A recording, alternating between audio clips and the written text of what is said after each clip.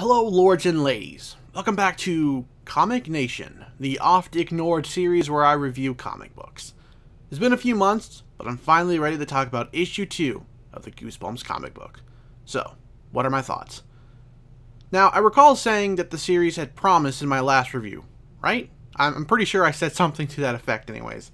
And this issue certainly supports that belief. The girls, Mia and Ginny are now firmly experiencing the chills and thrills of Horrorland, that monster-themed amusement park where you're not likely to leave alive. Slappy's there, along with what I assume to be a gaggle of other monsters from the R.L. Stine series. The art style doesn't really help clue you into what every monster is what, but I think I spotted some garden gnomes from Revenge of the Lawn Gnomes in there. Anything else is anyone's guess, but leave yours in the comments. Most of the issue sees Slappy escorting the girls through the various locales of Horrorland. It's fun to see familiar sights, as Horrorland is definitely one of the more beloved series in the franchise. I'd have preferred seeing more happening in this issue, but we're finally past the bland setup issue, so it's not all terrible. I enjoyed that this issue dwells more on the terror that I love from Goosebumps. Yes, it's a little corny with Slappy and the others rhyming, but that's kind of part of the charm. Mia gets trapped in a hall of mirrors and is terrorized by evil versions of, I guess, her moms.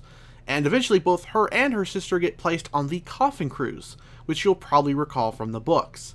The book ends with Urk, the little monster that could, ingesting some monster blood and transforming, leaving us to wonder what'll happen in the next issue.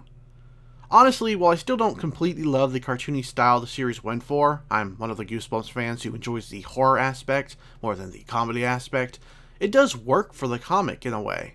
I couldn't make out every monster, but they all look really cool and creepy nonetheless, and it does lend Horrorland this spoopy quality you might expect from a kids' horror animated special.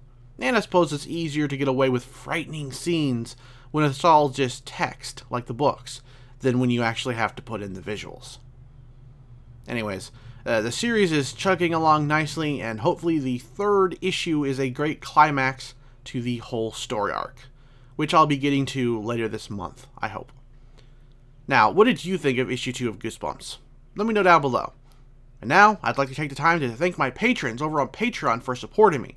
So thank you to Yasmin. I really appreciate it.